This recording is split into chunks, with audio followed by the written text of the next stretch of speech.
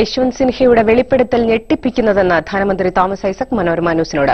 B J P അധ്യക്ഷൻ അമിത്ഷാ രാജിവെച്ച് അന്വേഷണം നേരിടണമെന്ന് അദ്ദേഹം ആവശ്യപ്പെട്ടു. അമിത്ഷായ്ക്കും നരേന്ദ്രമോദിക്കും വ്യാജ ഏറ്റുമുട്ടൽ കേസിൽ പങ്കുണ്ടെന്നതിന് വ്യക്തമായ തെളിവുകളുണ്ടെന്ന് കോൺഗ്രസ് നേതാവ് പി സി ചാക്കോയും പറഞ്ഞു.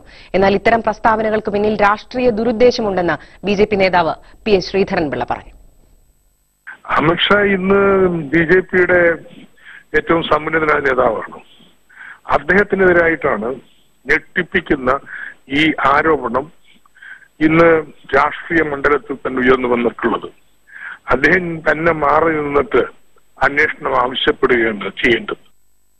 കോൺഗ്രസ് ഗവൺമെന്റിന്റെ പിടിപ്പുകേടോ അതല്ലെന്നുണ്ടെങ്കിൽ രാഷ്ട്രീയ വൈര്യ നിര്യാതനത്തിന് തയ്യാറാകാതിരുന്നതോ ഒക്കെ കൊണ്ടാണ് ശ്രീ നരേന്ദ്രമോദി. അതല്ലെങ്കിൽ ഇവർ രണ്ടുപേരും ജയിലിൽ പോകേണ്ടതാണ്. അത്രത്തോളം കോൺസ്പിറസിയിൽ അവർക്ക് പങ്കുണ്ട്.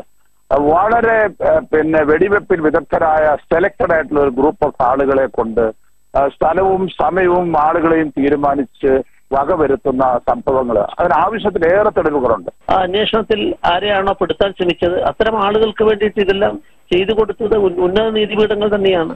ലോവർ കോർട്ടുകളല്ല ഹൈക്കോടതി ആയാലും ഒക്കെ. അപ്പൊ അത്തരം കാര്യങ്ങളെ സംബന്ധിച്ചിടത്തോളം അതിൽ ഇനി എന്തെങ്കിലും തെളിവ് കൂടുതലായിട്ടുണ്ടെങ്കിൽ അത് കോടതി കൊടുക്കുകയല്ലേ വേണ്ടത്? മറിച്ച് വസ്ത്രപ്രസാദം നടത്തിയിട്ട് ഇതെല്ലാം രാഷ്ട്രീയ പ്രശ്നങ്ങളാക്കി വിവാദങ്ങളാക്കുന്നതിന് പിന്നിൽ ദുരുദ്ദേശമുണ്ട്. ആ പറയുന്ന ആൾ ഒരു പക്ഷേ ബി ജെ പി അദ്ദേഹത്തെ അവഗണിച്ചിരിക്കായിരിക്കാം. യശ്വന്ത് സിൻഹ വലിയ നേതാവായിരിക്കാം. പക്ഷെ അദ്ദേഹത്തെ പോലെ ഉത്തരവാദിത്തമില്ലെന്ന് പറയുന്നവരെ അവഗണിക്കുന്നതാണ് പാർട്ടിയുടെ പതിവ്.